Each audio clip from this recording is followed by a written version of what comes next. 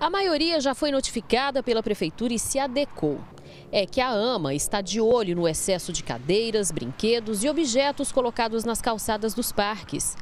No Areião, o netinho do Atlas se diverte no pula-pula, enquanto o avô descansa da caminhada. Sinceramente, eu espero uma ação diferente do setor público. Por exemplo, o, o, os bambus foram queimados aí o ano passado, ninguém podou, ninguém tomou atitude nenhuma.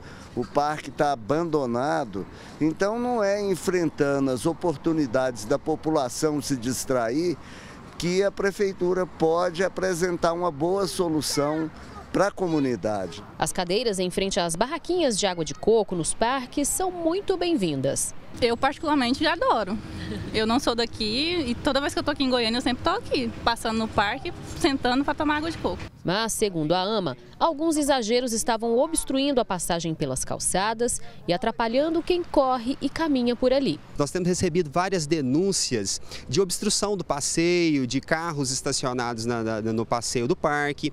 E, e, e para inibir esse tipo de, de, ação, a fiscalização está fazendo, primeiramente, é, uma notificação de, de, dessas pessoas para no segundo momento, é, havendo a persistência de, desse, dessa questão, haverá as autuações, possível até de uma apreensão daquilo que esteja ali obstruindo a passagem dos visitantes. Este comerciante foi notificado e acredita que as cadeiras e os brinquedos não sejam um empecilho para quem frequenta o parque. Até mesmo os clientes nossos que vêm aqui estão todos contra essa ideia deles de tirar as cadeiras, tirar os brinquedos. Aí, ó, tanto que é bonito uma criança ficar brincando, né? Vem divertir, né?